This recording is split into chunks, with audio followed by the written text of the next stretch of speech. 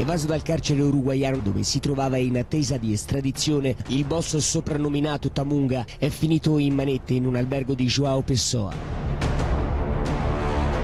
Stiamo parlando di Rocco Morambito. Ricercato per reati, oltre che di natura associativa, anche per narcotraffico. Rocco Morambito che viene arrestato nel 2021 nell'ambito del progetto ICANN da Ross dei Carabinieri perché cade in una cybertrappola costituita dai colleghi della Polizia Federale australiana e dall'FBI statunitense. Rocco Morabito è stato latitante per quasi metà della sua esistenza, oltre 23 anni, prima di essere arrestato nel 2017 all'interno di un hotel nella località di Punta dell'Este, dove viveva con tutti i comfort, villa con piscina, segni, auto, cellulari, carte di credito ed un particolare che oggi non diventa casuale, un passaporto brasiliano.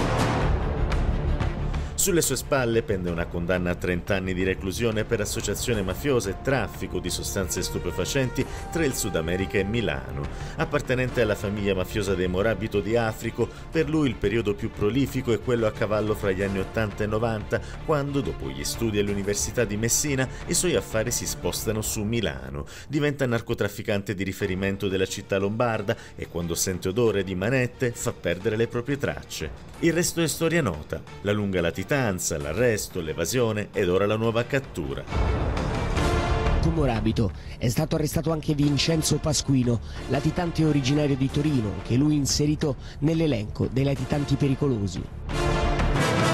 Nel 2019 Morabito Rocco evade dal carcere di Montevideo con una fuga roccambolesca Tres de los cuatro reclusos que fugaron de la ex cárcel central lo hicieron saltando desde la azotea de jefatura, aquí ubicada en la calle San José, a un balcón de un edificio lindero. El mafioso saldría por el sexto piso, de allí pasaría al techo de un supermercado, desde donde entraría a un apartamento y allí lo estarían esperando cómplices listos para terminar la fuga. Lui era stato precedentemente arrestato nel 2017 eh, dalle autorità uruguaiane mentre aveva dei documenti falsi e faceva una vita assolutamente regolare, fingendosi imprenditore nelle più belle città dell'Uruguay. Mm, si ritiene viajando anche per altri paesi del Sud America, in particolare per, con il Brasile. El orgullo que nos da poder de anunciar que el trabajo silencioso, metódico que llevó la policía y la fiscalía fueron los que lograron la ubicación de este delincuente en el Brasil y que por lo tanto será extraditado a la Repubblica d'Italia. Nella cooperazione internazionale di polizia alle volte è più una dichiarazione di principio che una realtà. Questo progetto, che invece era orientato molto alla concretezza, ha portato oggi ad arrestare 43 latitanti di indrangheta in giro per il mondo.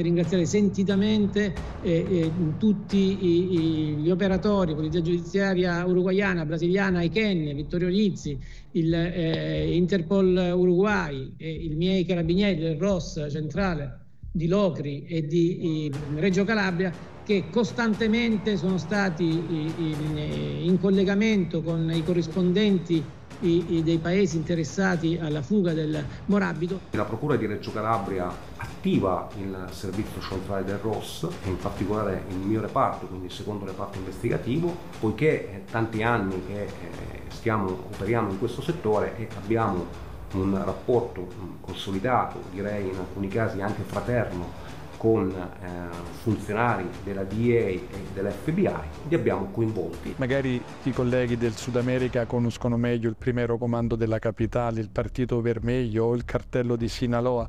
Noi eh, dobbiamo far comprendere che oggi una delle mafie player mondiali del narcotraffico era Ndrangheta e abbiamo costituito questa rete e parlano da soli i risultati.